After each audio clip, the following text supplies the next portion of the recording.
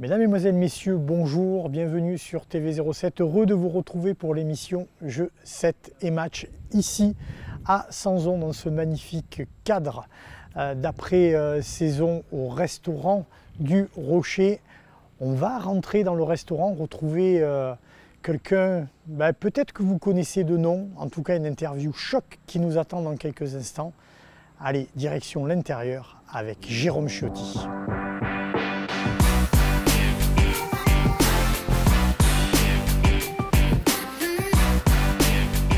Allez, on se retrouve au bistrot du Rocher à Sanzon avec Jérôme Chiotti.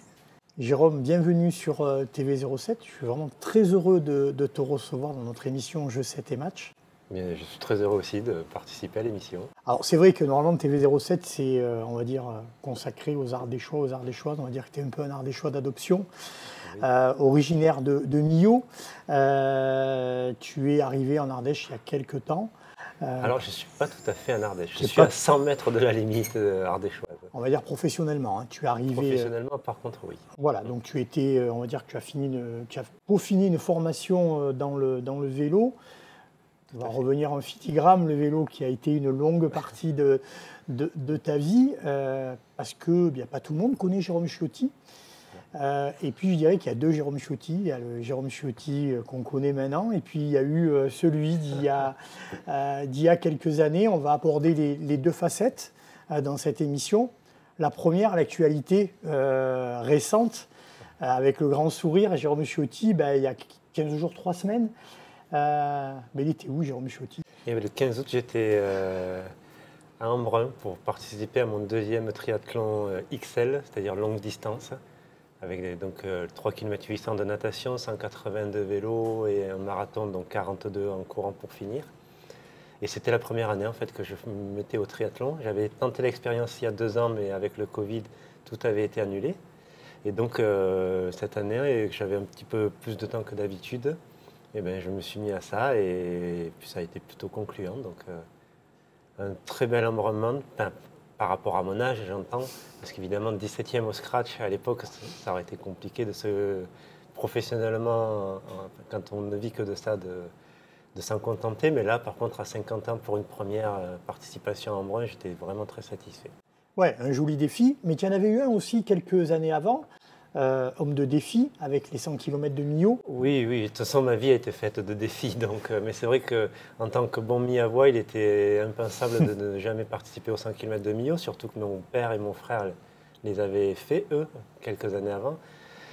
Malheureusement, je les ai fait un peu tard, parce qu'il aurait fallu que je fasse ça dans la force de l'âge, euh, vers 30-32 ans.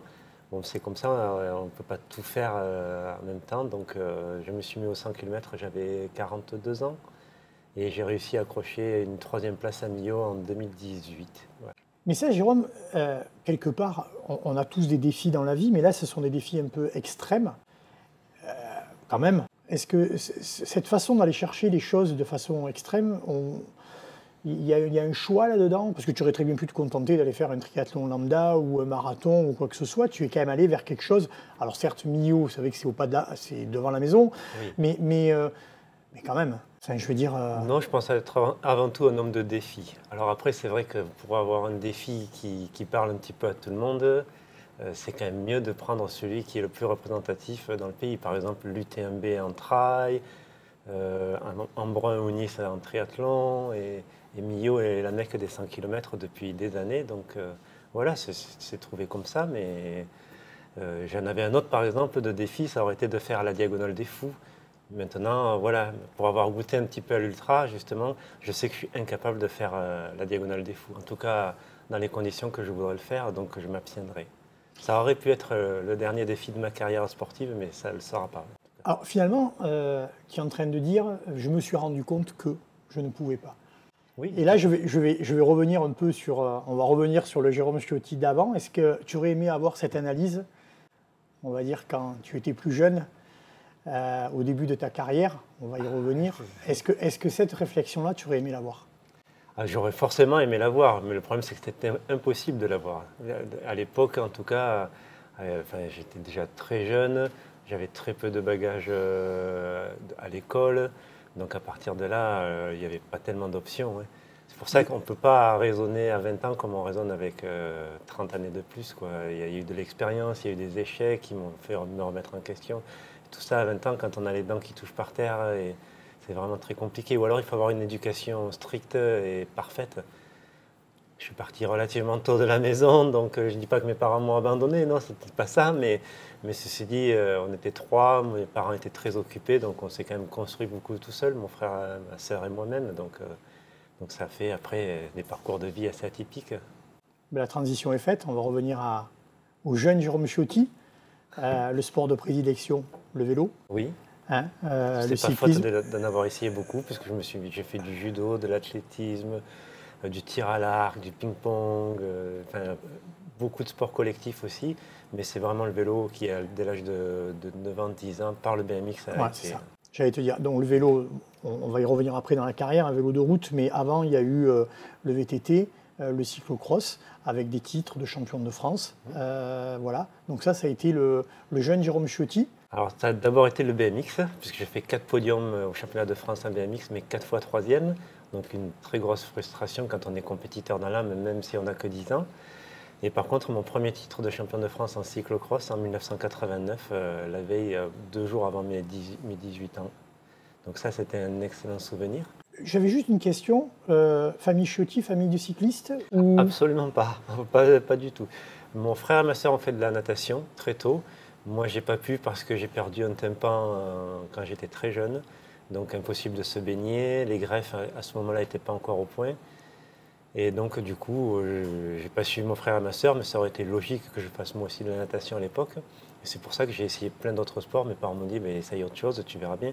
Mais ni mon père ni ma mère n'avaient euh, d'abord une carrière sportive et même pas un profil sportif. Et, ça, tu penses que c'est aussi un élément qui, euh, a fait que euh, dans ce qui s'est passé dans la suite de ta carrière, à un moment donné, tu as su dire stop et, surtout tu as su parler et t'exprimer. Est-ce que tu penses que si tu avais été, on y reviendra plus tard, parce que je veux, quand même te poser une question, est-ce que tu penses que si tu avais été issu d'un milieu cycliste À mon avis, il n'y aurait pas eu de révélation. Ça, là-dessus, c'est très clair. Quand c'est culturel, quand on baigne là-dedans, de toute façon, c'est une omerta incroyable qui dure encore aujourd'hui, hein, même en 2022, même après les affaires en Espagne, en France avec Festina, avec mes révélations, avec celles de Erwan Manteur, de Christophe Basson. Je veux dire, des affaires, il n'en manque pas. L'omerta est toujours présente. Et donc voilà, mais, quand on vient de ce milieu-là, pur et dur, c'est compliqué, non moi, moi peut-être ça m'a sauvé, je ne sais pas. C'est vrai que c'est la première fois que je me pose la question. Oui, on, y reviendra, on y reviendra tout à l'heure. Hein, tu, as, tu, as, lancé le mot. Hein, on, est là pour ça aussi, pour en discuter, parce que c'est un cheval de bataille qui, te tient à cœur. Euh, on va continuer le dérouler. Petit à petit, ben, tu gravis les marches. Euh, tu passes d'équipe amateur en équipe amateur, tu gravis les échelons, et puis, puis tu découvres le, monde professionnel. Milieu pro-cycliste, voilà. En 1994, dans une toute petite équipe qui s'appelait Catavana à l'époque, avec la fin de la dernière année de carrière pour les frères Madio. C'était assez important parce que pour moi, les frères Madio, c'était des cyclocrossman, de très bons routiers et surtout des gens qui habitaient la Mayenne. Moi, j'étais en Loire-Atlantique, donc le département voisin. Et, d'un seul coup, quelqu'un comme Marc Madio, un des plus gros palmarès, qui s'occupe de moi, c'était quelque chose de, même pas fantasmé euh, dans mes plus grands rêves. Donc, euh, donc voilà, ça a été un rêve éveillé. Et, j'ai suivi euh, une partie de ses conseils, comme je l'ai fait après, quelquefois avec quelques jeunes, quand les, quelques années où je me suis dopé, ça, me semblait tellement évident, on m'avait aidé en m'expliquant comment ça, fonctionnait dans le milieu, qu'il me semblait logique de faire la même chose pour d'autres, jusqu'à ce que je me réveille un matin en me disant, ah, mais en fait, la vie, c'est pas ça. quoi. Et alors, c'est entré chez les professionnels, est-ce que de suite, tu bascules on va dire. Euh, ah oui, il n'a même pas fallu trois semaines pour que je reçoive ma première injection. Quoi. Et on était dans une petite équipe. Oui, oui, c'était une toute petite équipe. On n'était même pas sûr de faire le tour. Euh, le budget était vraiment minime. À l'époque, ça devait être un million d'euros. Et encore, peut-être même pas. Mais voilà, c'est en plus, c'était même pas en euros, c'était en francs. Donc, euh, Mais oui, oui, c'est un tout petit budget. On a quand même fait un très beau, très beau programme de course. On n'a pas été sélectionné sur le tour, mais voilà, parce que l'effectif était trop léger. Mais euh, par contre, voilà, euh, alors j'ai une, formation accélérée parce que Marc Madio cette époque, m'avait pris un. Enfin, il, m'aimait bien. Mais, mais voilà, c'était pas Mars, ça aurait été un autre. Hein. C'est vrai qu'il m'en a un peu voulu quand j'ai fait mes déclarations et, mon livre à, suivre. Mais, bon, dire, c'est la vie, c'est comme ça. Et, si c'est pas lui, ça aurait été un autre. Parce que de toute façon, dans ce milieu-là, c'est un passage. À l'époque, il y a presque 30 ans de ça, c'était un passage obligatoire. Oui, c'était un passage obligatoire. Donc tu rentres là-dedans, tu te retrouves dans ces équipes, et puis voilà, la, la, routine, on va dire, du dopage se met en place. Voilà. Tu changes d'équipe Catavana, tu vas de mémoire au groupement. Voilà, tout à hein, fait. C'est ça, mauvaise aventure du, groupement. très mauvaise. Alors, pas tellement par euh, le fait qu'elle se soit arrêtée très vite, parce que je suis tombé sur un fou qui s'appelait Patrick Valk, qui était l'ancien mm. mentor de Stéphane Roche, qui pensait avoir tout vu, tout fait, euh, alors que la seule chose qu'il avait fait, c'était d'être le mécanicien de Roche. Et donc, euh, ce gars m'a pris en grippe et ça a été un véritable enfer pendant six mois. Il y avait des sacrés coureurs. Hein. Il y avait Luc ah, Leblanc qui, était, qui arrivait avec son milieu champion du monde. Exactement. Il n'y avait, il y avait que des, que des costauds. C'était incroyable. C'était une belle expérience, mais, mais avec quelqu'un au milieu qui a. Je, pense qu'il n'y est, pas, est pas pour rien dans le déclin rapide de l'équipe parce que dans le milieu, personne ne le supportait. Quoi. Il était arrogant, il était puant, il était. Et bon, il a accéléré la chute de l'équipe.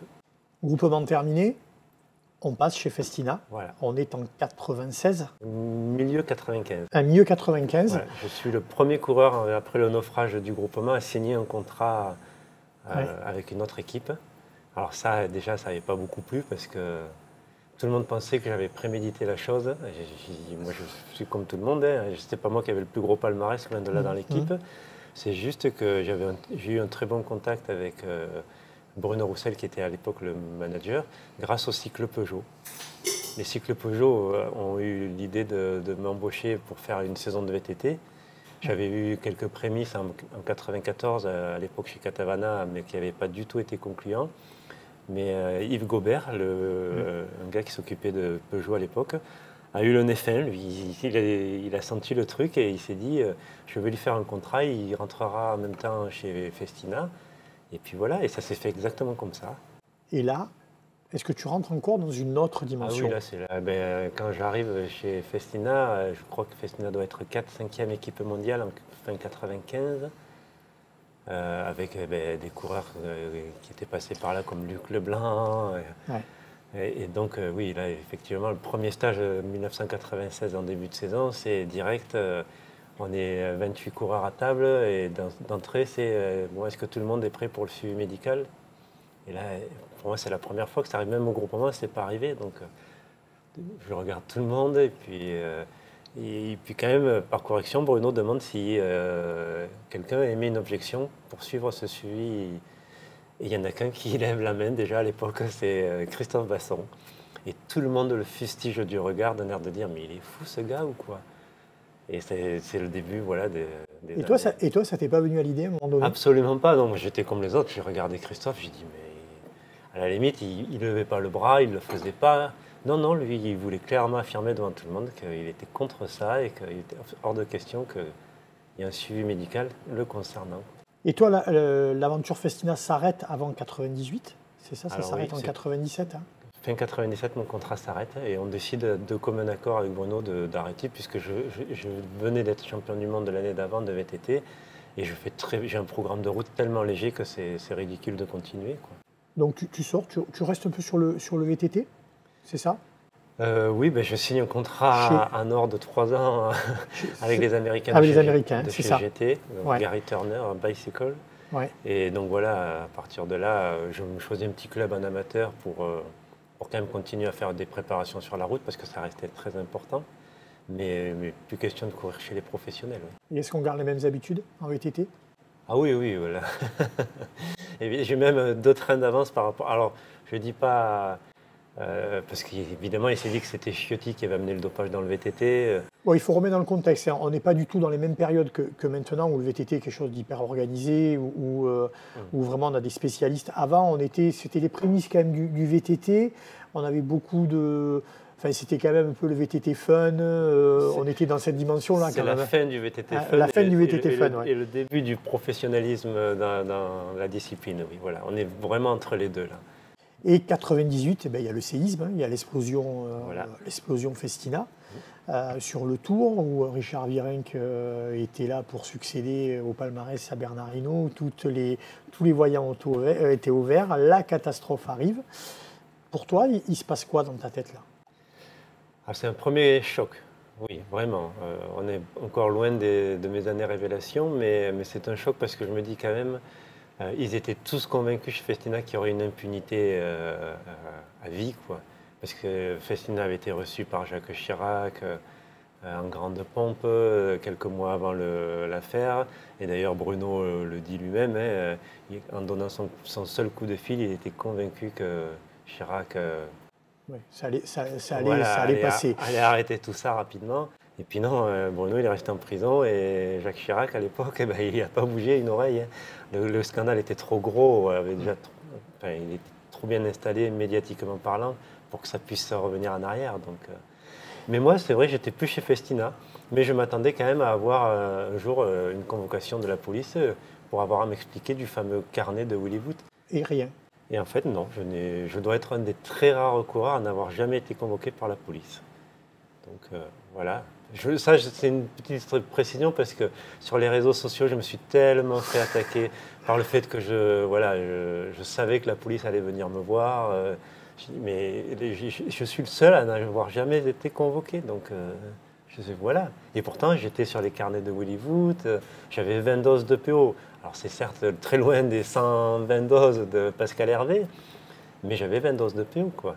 Et celles qui m'ont permis d'être champion du monde, d'ailleurs. Donc, euh, je m'attendais à ça et c'est pas venu. C'est. J'ai jamais eu d'explication. Donc la carrière avait été continue, calmement. Oui.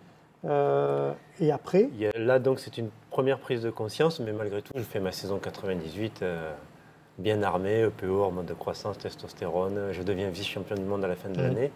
Et là, j'ai une image vraiment qui me restera à vie.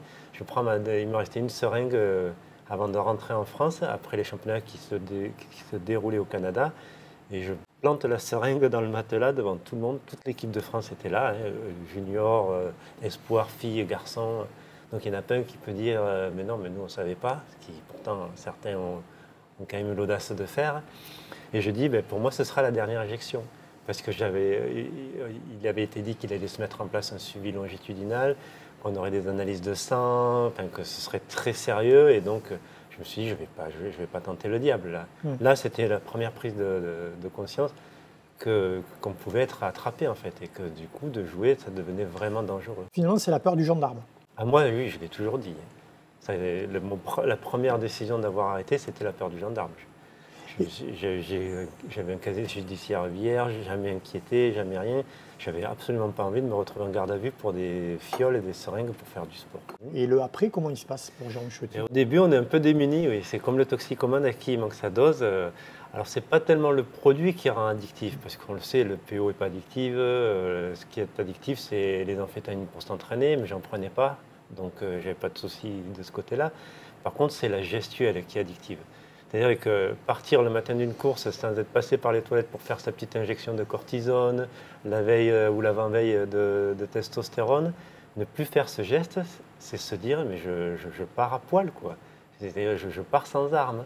Et là, du coup, euh, rien que psychologiquement, on a 50% de moins par rapport aux, athlètes encore dopés parce qu'on sait qu'on ne sera pas sur la même longueur d'onde. La première année, quand, euh, en 99, en fait, ça s'est pas trop trop vu parce qu'on a les, entre guillemets, les restes des années précédentes.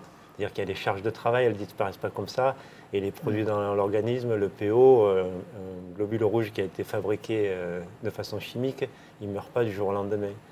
Donc j'ai fait une belle année 99 malgré tout.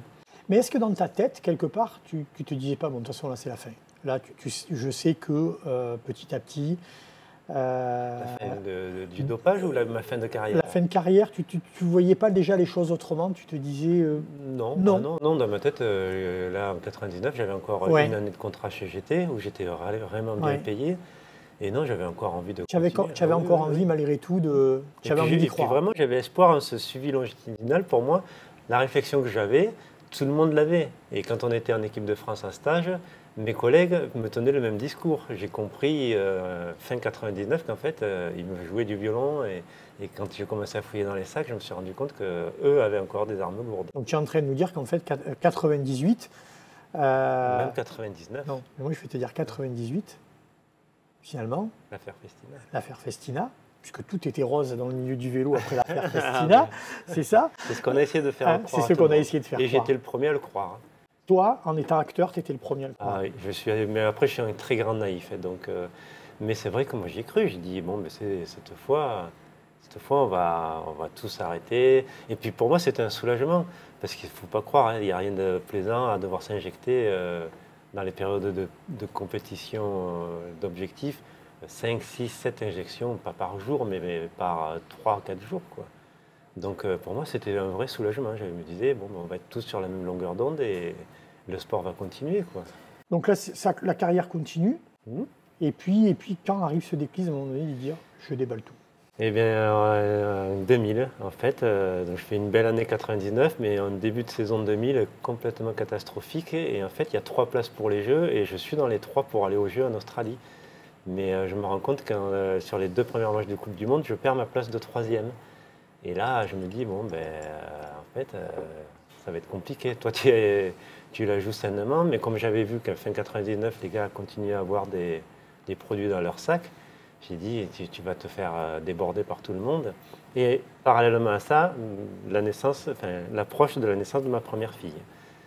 Et donc, euh, voilà, à partir de là, euh, je commençais à gamberger. Et, puis, et puis, il y a des journalistes qui avaient senti dans mes interviews que j'étais prêt à parler, en fait. Que ça faisait fin 99, quand Rasmussen est champion du monde, mais Rasmussen, je l'aimais bien, c'était un gentil garçon. Mais en Coupe du Monde, quand il faisait dixième, il était déjà très content. Et un peu comme moi, quand j'arrive à 96, euh, je fais euh, aller ma meilleure place 3 en Coupe du Monde, et d'un seul coup, je suis champion du monde en l'espace de six mois. Ben, Michael Rasmussen, ça a été la même chose en 99. Et donc, à l'arrivée, euh, au championnat du monde, je dis, ben, s'il faut la rejouer comme Rasmussen, il n'y a pas de problème. Hein. Redonnez-moi les armes et je le fais. Et donc, il y a un journaliste qui, qui rebondit dessus. Voilà. Et puis euh, en, 2000, sur les premières interviews euh, avant les Jeux, ben, il comprend en fait que je suis prêt à parler. ce journaliste c'était un journaliste du journal Vélo Vert. Il vient à la maison, je le reçois, et la veille au soir, je dis à ma femme, de toute façon c'est bon, ça devient vraiment trop lourd tout ça. S'il me pose la question, je lui répondrai. Et il pose la question. et tu as répondu, on va dire personnellement soulagement, oui. Mais derrière, les conséquences. Euh... Ah ben, grande naïveté légendaire, c'est que moi je pense que en fait, ben, tout le monde va m'applaudir et tout le monde va dire ben, c'est super. On va, il faut que ce milieu change, quoi. Mais quand je dis tout le monde, c'est pas seulement le public, c'est aussi le milieu pro, c'est le milieu politique qui est au courant de tout, enfin, toutes les instances. Mais en fait, euh, au bout de 24 heures, tout le monde veut ma peau. en fait, c'est l'effet inverse, c'est que tout le monde veut ma peau. L'employeur qui me dit on va te licencier, tu n'avais pas le droit de parler. Le, président de fédération que j'ai personnellement au téléphone qui me dit euh, nous de toute façon on est au courant de rien et, euh, tu vas payer. Et voilà. Et donc en 24 heures, mon monde s'écroule. J'ai des crédits sur le dos, comme tout le monde, et, je deviens le, le banni. Paria du vélo. Ouais, Et le milieu te tourne le dos? Le milieu route à 98% me tourne le dos. Le milieu cyclosportif, je reçois dès le début des messages d'encouragement et de soutien. Et dans le VTT, c'est 50-50. Euh, finalement, Jérôme, quand tu vois, on, est, on, rappelle, hein, on est dans les années 2000, on est en 2023, 2022, pardon. Euh, à part d'un point de vue personnel, est-ce que tu n'as pas l'impression que tout ça, ça a servi à rien en fait? Ah, Si, je le, je le, dis tous les jours dans chaque interview, que, enfin pas tous les jours parce que j'en fais beaucoup moins des interviews, mais à chaque interview, je le dis, ça n'a servi strictement à rien. Et tu le, tu le regrettes? Ah non, non. Non. Ça, je l'ai expliqué maintes fois. C'est que si je ne m'étais pas arrêté de me doper, je serais toxicomane aujourd'hui ou je serais mort sous un pont. Comme c'est arrivé à tellement d'autres euh, qu'on a déjà tellement vite oublié. Donc voilà, ça, je ne peux pas regretter ça parce que, parce que moi, je suis dans l'excès. Dans tout ce que j'ai fait dans ma vie, ça a toujours été dans l'excès. Donc euh, je sais que si je n'avais pas réussi à décrocher grâce à mes révélations, je serais retombé dedans, ça c'est une évidence, et j'en parle très ouvertement dans, l'interview à la fin, ce que les gens n'ont pas compris, parce que d'un côté je dis oui j'étais champion, et s'il faut, je recommencerai. Donc euh, Et, donc, du coup, j'ai plus jamais eu à me reposer la question. Parce que les gens ont encore douté. Quand je fais 2h28 à Paris à plus de 45 ans, euh, d'un seul coup, on se dit Oh, ben, Chiotti nous a pris pour un âne, il continue. Mais qu'est-ce que j'aurais eu à gagner de me faire contrôler positif après tout ça? Mais j'avais plus qu'à aller me cacher au fin fond du Larzac et encore, je pense que ça n'aurait pas été suffisant avec les réseaux sociaux d'aujourd'hui. Donc, euh, donc voilà, mais bon, c'est comme ça. Mais, finalement, ça, ce que tu es en train de dire, euh, est-ce que c'est justement les gens qui n'ont jamais connu ça, qui n'ont jamais connu le dopage, qui parlent comme ça euh, Est-ce qu'il ne faut pas en être passé par là pour... Ah pour je, pense que vraiment, là, souvent sur les réseaux sociaux, alors on évolue, moi j'évolue dans le milieu du sport, je, suis un peu comme toi. Euh, c'est toujours la faute de l'autre. Euh, c'est toujours, euh, c'est toujours par exemple pour les amoureux de vélo, on tape sur le vélo, mais on ne tape pas sur les autres sports. C'est, pas faux. C'est, pas faux, on en est d'accord. Mais il y a quand même une réalité qu'on se cache. Quoi. Et, cette réalité-là, aujourd'hui, toi, tu la comprends bien, parce que tu l'as vécu, tu y es passé. Quoi. Parce que le milieu du vélo essaye de faire croire qu'il montre patte blanche et il fait exactement l'inverse derrière. Et, les affaires sont chaque fois là pour confirmer tout ce que je dis. Moi, on m'attaque à chaque fois. Tu, tu accuses sans preuve encore il n'y a pas longtemps vous de Van Aert. Mais je suis désolé, mais chaque fois l'histoire me donne raison. Alors des fois, il faut attendre 10 ans comme avec Lance Armstrong. Mais j'étais le premier à dénoncer Armstrong, un des tout premiers. Évidemment, aujourd'hui, on ne s'en rappelle pas parce qu'on n'a pas envie de se rappeler de ça. Mais à l'époque, quand je disais Armstrong, il me prend pour un con, je revois Madio dire euh, Armstrong sur la Lune. Et il s'était fait euh, lyncher médiatiquement et il n'avait pas le droit de parler, soi-disant, parce qu'il était euh, ancien coureur. Mais il, était un des premiers à dénoncer Armstrong. Alors, il n'avait pas de preuves, mais en attendant, si on doit attendre des preuves pour faire avancer le sport de haut niveau, mais non. Il y a... À un moment donné, je pense qu'il y, a, tu le dis, hein, il y a ce qui est possible, mhm. ce qui est de l'ordre du possible. Oui. Et, à un moment donné, quand tu es sportif. Mais c'est ça le problème, c'est quand tu es sportif de haut niveau. Tu, tu, tu, euh, tu réalises véritablement ce qui n'est pas possible de faire. Et tu prends l'exemple, on, va parler euh, un peu technique, peut-être pour, pour nos téléspectateurs, un Wood Van Aert. Tu, tu l'as nommé. Oui, ah oui, j'ai hein clairement des euh, doutes sur Il est capable de gagner des sprints, il est capable de grimper des cols, il est capable de gagner en contre-la-montre. il est capable de gagner partout en VTT, euh, en, cyclocross, sur la route. Même Mathieu Van Der Poel, qui pourtant semblait plus doué que lui, euh, il est largement dépassé aujourd'hui. Quoi. C'est, Wout Van Aert, il prend le départ d'une course, il fait jamais au-delà de la cinquième place. Donc toi, tu dirais qu'aujourd'hui, on peut s'attendre dans les prochaines années qui arrivent à découvrir quelque chose de... C'est certain on découvrira quelque chose sur la Jumbo Visma. C'est obligé. non, mais ils essayent encore de nous faire croire aujourd'hui, par les mêmes arguments qu'on utilisait nous et chez Festina, qu'ils s'entraînent mieux que les autres. Mais, on voit ça où Tout le monde sait s'entraîner aujourd'hui. Tout le monde a un entraîneur personnel, tout le monde s'entraîne avec les watts, tout le monde a. enfin voilà. Ah, mais bon, ça m'épuise d'avoir à le répéter, c'est ça le problème. Et puis ça m'épuise de prendre les coups tout seul. Parce qu'à chaque fois, c'est qui, qui, prend les coups, c'est moi. Donc, euh, mais voilà, c'est un des grands combats de ma vie. Hein, et ça, je ne vais pas reculer maintenant en disant ah, c'est bon, j'en ai marre. Non. Donc euh, moi, j'ai la certitude qu'il y a des choses encore pas claires du tout dans le vélo. Et est-ce que tu penses qu'après l'affaire Festina jusqu'au jour d'aujourd'hui, il y a une période quand même un peu euh, où on ne pu y croire? Où, on a eu des coureurs quand même, euh, on va dire, qui ne euh, sont pas tombés dans cet extrême au niveau du, dopage. Est-ce que tu penses qu'il y a eu quand même une période à un moment donné où on a dit, bon, on déconne quand même, on va retomber sur des choses un peu plus... Euh, du Tour de France qui s'est fait cette année, je suis convaincu qu'il y a plus de 50% du peloton qui est, sain.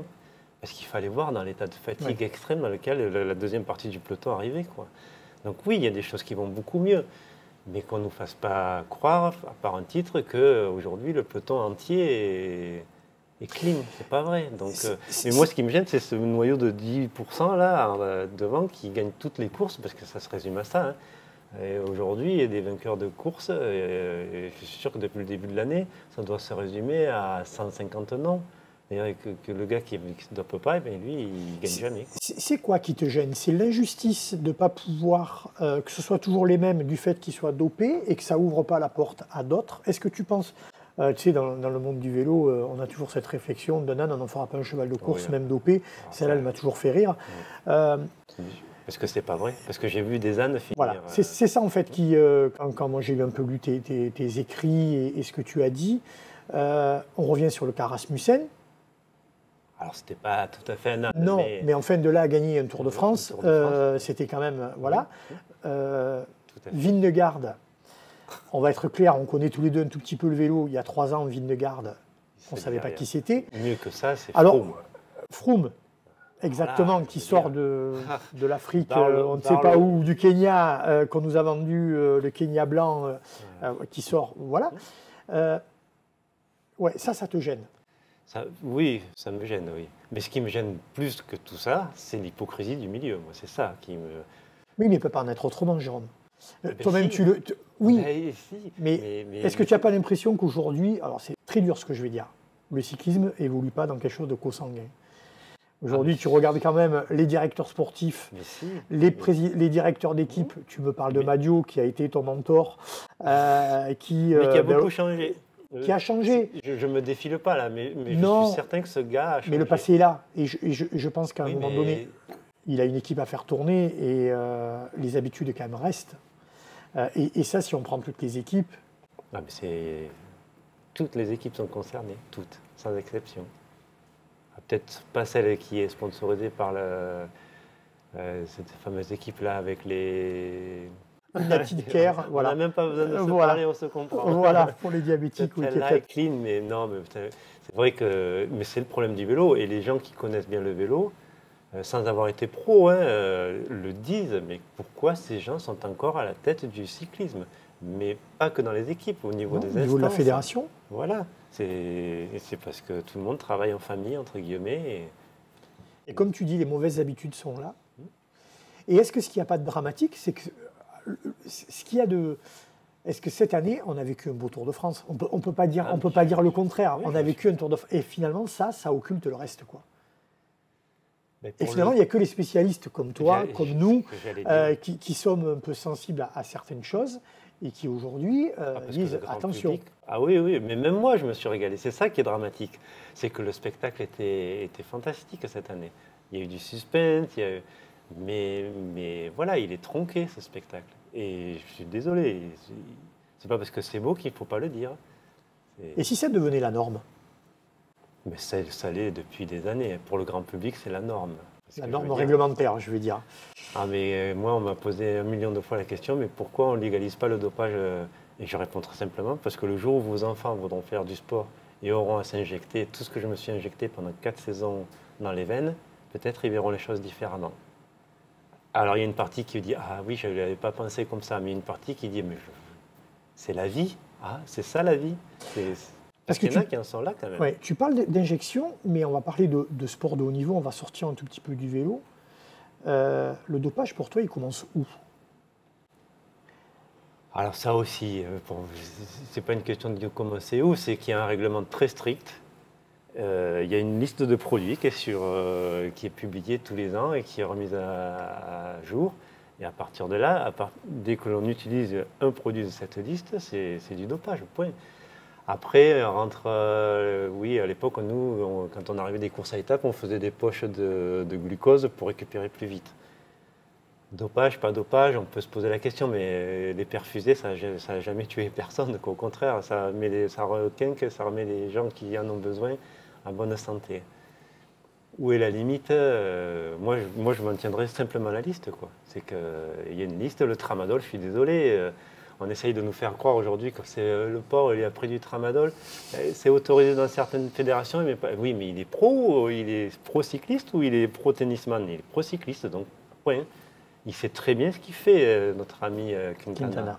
Il, joue, il perd, et ben voilà, il assume. Mais non, encore on est en 2022, il assume rien et ça, ça te rend fou Ah mais oui, ça me rend dingue parce qu'ils n'assument rien ces gens-là. Quoi. Le gars, il, joue, il perd, et ben, il assume. Mais il n'y en a pas eu un. et il re-signe pendant trois ans dans une équipe française. En plus. Donc, euh, donc oui, ça, ça me rend dingue. Mais euh, après, j'ai touché à beaucoup de sports et euh, c'est absolument pas mieux ailleurs. C'est peut-être même pire en athlétisme. Parce que c'est vraiment une. Il y a énormément d'amateurisme. En fait, l'athlète aujourd'hui, année où on en était nous, euh, quand, quand je venais de passer pro en 95, quoi, 94. D'ailleurs, c'est mmh. des gars qui font ça parce qu'ils ont lu à droite, à gauche sur Internet. Oui, ça bricole, quoi. Ça bricole, voilà, et ça, c'est dangereux, oui.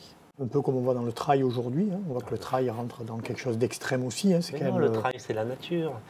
C'est exactement ça. Le triathlon, je pense, a porté sa croix là aussi euh, pendant un moment. Ah euh, c'est pas à porter, c'est le porter. Il le porte encore. Parce que je veux dire, s'il y a un sport qui est absolument pas contrôlé, c'est bien, à l'exception de Embrun. Euh, mais qui est arrivé C'est la FLD qui est arrivée, qui a pris 10 coureurs au sort. Finalement, on se rend compte dans la discussion qu'on a que tous les sports de haut niveau aujourd'hui sont un peu gangrénés par, par le dopage. pour en avoir fait donc, triathlon, athlé, vélo, euh, il n'y en a pas un qui, qui vaut mieux que l'autre. Hein. Dis-moi, c'est pas joyeux pour des parents qui veulent mettre euh, au sport leur, leur enfant Je suis éducateur sportif et pourquoi est-ce que je ne m'investis pas dans les clubs et pourquoi est-ce que je ne m'investis pas dans le secteur pro? Parce que je sais pertinemment que ça finira comme ça. Donc, euh, oui, non, c'est pas joyeux. Hein. Donc aujourd'hui, Jérôme Chotti serait plus partisan euh, du sport loisir? Complètement, à 200%, oui. Euh, et, je, vais même pousser le truc plus loin, c'est que quand je fais un euh, de façon saine, qu'on me croit ou pas, je m'en fous, moi je sais que je le fais sainement, ça ne m'aide pas pour la santé. Parce que je, suis tu te pendant détruis. semaine dans des états de fatigue qu'on n'a pas... que le corps, on va dire, ne doit pas accepter normalement. Exactement, hmm. voilà.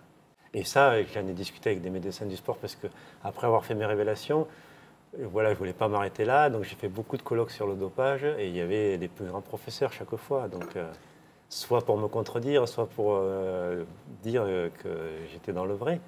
Et voilà, le sport de haut niveau est invalidant.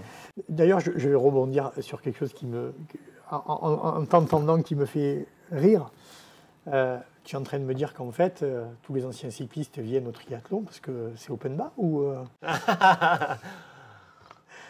De toute façon, on y a eu droit. Hein. Euh, moi, quand je, me suis inscrit pour la première fois dans un tri, ben voilà, encore un cycliste qui amène le dopage dans le tri. Mais de toute façon, les cyclistes ont l'image des, athlètes, enfin, des, sportifs dopés. Hein, ça.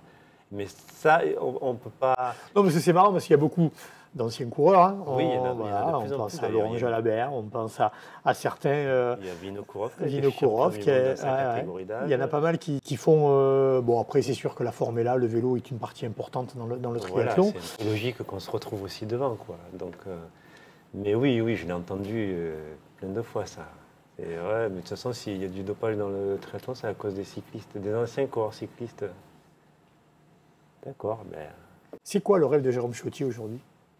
Je crois que j'ai quand même fini de rêver un peu, à force de prendre des coups. Euh, mais idéalement parlant, de toute façon, je suis certain qu'à l'approche de 2023, si on voulait combattre le dopage, je suis certain qu'on aurait les solutions. Mais on ne va pas se les donner, c'est juste une question politique. C'est que ça enquiquine tout le monde, ça, le, dopage. Parce que si on mettait des labos, euh, les labos qui sont capables quand même de faire des, des produits en six mois maintenant, on ne va pas me dire qu'ils ne sont pas capables de mettre un, un, test ou les détecter. Euh, un petit truc qui permettrait de le déceler de suite dans les urines ou dans le sang. Quoi. Mais non, on en est là encore aujourd'hui. L'hormone de croissance est seulement détectable depuis peu d'années. Alors que nous, on l'a utilisé de façon. Mais... on nous le fait passer pour un produit récent. Hein. Euh, oui, oui, c'est les nouveaux produits dopants, alors que ça existe. Dans les 80 déjà, je ne donnerai pas de nom, mais un grand champion breton. D'ailleurs, euh, est-ce que quelque part, euh, ça ne te soulagerait pas d'entendre justement ces, anciens grands champions dire à un moment donné J'ai longtemps espéré ça, vraiment. Et finalement, on se rend compte que non. Au départ de mes révélations, naïvement, je me suis dit, bah, c'est bon, d'autres prendront le relais, et si possible, les meilleurs. Par exemple, Jalabert. Mais quand on voit que Jalabert, devant le Sénat, en prêtant serment, est capable de dire que non, il ne s'est jamais dopé, ou qu'au mieux, il a vu des seringues sur sa table de nuit, mais qu'il ne savait pas ce qu'il y avait dedans, donc on comprend que ça. Est-ce que tu as eu l'occasion de discuter avec eux ou pas? Non, mais ils ne veulent pas me parler. C'est aussi simple que ça. C'est que si je croisais Laurent, je vais espérer le croiser cette année sur un tri. Euh, le, calendrier a fait qu'on n'avait pas les mêmes objectifs. Donc on ne s'est pas vu, mais oui, mais je sais très bien. Quand mon métier m'amène à encadrer des, des cyclosportifs mm. américains qui adorent voir le tour, surtout à l'époque d'Armstrong. Donc je bossais pour une, une, agence de voyage qui était spécialisée là-dedans, qui était parrainée par le, par le tour. On avait des accès VIP c'est pas le hasard, hein, on va dire que je suis euh, mythomane, que je suis toujours en train de pleurer. Mais même avec mon pass, on essayait de m'empêcher de rentrer euh, au sein de la Société du Tour. Alors que j'étais là pour accompagner des, cyclosportifs, j'avais les, passes, j'avais tout ce qu'il fallait en bonne et due forme. Et bien non, chaque fois, moi, euh, on me laissait poireauter pendant 5 minutes en me disant on va voir quand même, on va voir quoi? Mon pass, il est là, je ne fabrique pas les passes, j'en suis pas là, je suis pas. Mais c'est comme ça. Je suis monté une fois sur le podium avec eux pour faire, parce qu'on avait accès au podium avant que les cours arrivent. Évidemment, c'était au moins deux heures avant. Mais non, on m'a fait descendre du, moi, on m'a fait descendre du podium. Donc euh, voilà, on en est là aujourd'hui. Et, et, pourtant, il y a prescription. je parle de ça, c'était en 2015-2016 quand je vais. Alors après, euh, mon patron a un petit peu calmé le jeu parce qu'évidemment, euh, ça lui est revenu. Il, lui, il était partenaire du tour on a dû lui demander euh, de m'amener ailleurs que sur le podium du Tour de France avec les clients. Quoi. Donc, euh, mais puis, il y a des anecdotes comme ça, il y en a d'autres. Une fois, il y a un colloque sur le dopage, à l'arrivée d'une étape du Tour, ça devait être à Virzon, euh, avec Gilles de Lyon, qui a, beaucoup fait pour l'antidopage. Moi, une salle mise à disposition juste à côté de la salle de presse par ASO. Et puis quand euh, l'organisateur annonce euh, les, gens, la veille au soir, ils annulent, euh, ils disent non, la salle sera plus disponible, c'est pas possible. Et ça aussi, c'est pas le hasard. Je fais le marathon de Paris, un tiré au, un tiré au sort sur 40 000 au départ, ben c'est moi, qui est l'organisateur du marathon de Paris à ESSO. Voilà, ils sont contents, ça leur fait plaisir. C'est comme ça, c'est. L'argent, le business, oui, ah oui, ça. À la place du reste. Voilà. Mais finalement, Jérôme Chautier aujourd'hui est heureux. Oui. Il a trouvé, euh, on va dire, son rythme de vie. Mhm. il aborde la vie d'une façon saine et différente. Oui. Avec des beaux défis. Voilà. Mais ceci dit, voilà, le problème c'est que c'est pareil, euh, je finance tout moi-même parce que Jalabert, pendant qu'il a tous les financements possibles par des sponsors, eh bien, moi je galère. Quoi. Mais est-ce que c'est le plus important pour toi aujourd'hui? C'est pas le plus important, mais je trouve, enfin, je, je trouve ça injuste. Quoi. alors c'est vrai, j'ai 50 ans, on s'en fout, mais, Il y a quand même encore cette petite amertume. Oui, quand même, oui, parce que, parce que le milieu sait que... Je ne vais pas le dire. mais voilà, c'est... Je ne pense pas qu'il continue, Laurent Jalabert, aujourd'hui, il serait bien bête, mais Laurent, il est Très bon commentateur sportif d'ailleurs, je nie pas, il a les compétences, mais je pense qu'on pouvait mettre quelqu'un d'autre. Et quand j'entends Martin Fourcade le dire, mais je suis là par contre je suis le plus heureux des hommes parce que je me dis tiens, c'est bien dommage qu'il n'ait pas fait du vélo parce que lui aussi aurait parlé quoi. Mais voilà, c'est comme ça. En tout cas, moi, ça a été un régal de passer ce moment avec toi, véritablement. Euh, je dirais que quand même, faites du sport. Oui, du sport pour le plaisir, ça, il faut en faire. C'est vital. Ah on, s'en est très bien rendu compte avec le Covid, d'ailleurs. Dans notre belle région Oui.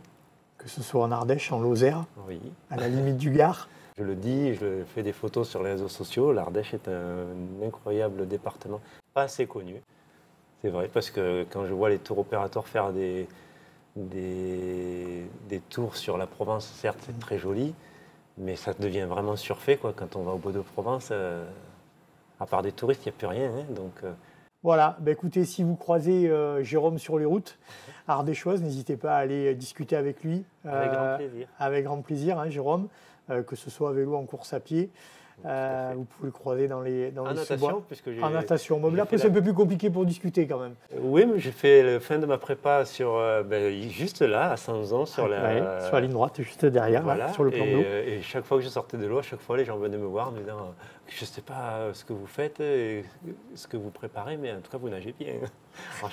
Alors que s'ils avaient vu un vrai nageur, ils auraient vu la différence. Mais c'est pour dire que voilà, les gens sont toujours curieux et c'est bien.